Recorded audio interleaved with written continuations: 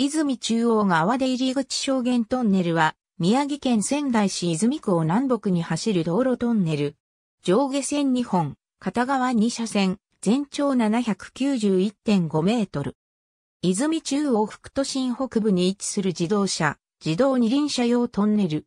証言団地の地下を走り、宮城県道22号仙台線線を通す。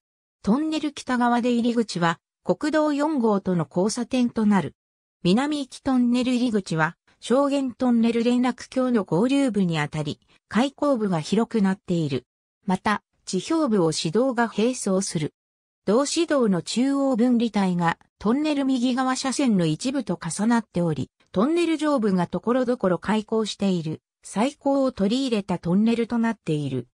東北自動車道泉インターチェンジ等のある、泉区北東部や富谷市方面と、泉中央、仙台市都心部とを結ぶ主要ルート上に位置することから、交通量が多く、朝夕を中心に慢性的な渋滞が発生する区間となっている。泉中央、仙台方面と富谷市、大和町方面とを結ぶ路線バスのほぼ全路線が、当トンネルを利用する。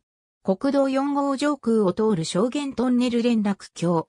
国道4号下り車線から撮影。左側が証言トンネル。国道4号から分岐し、宮城県道22号仙台線線へ合流するための連絡橋。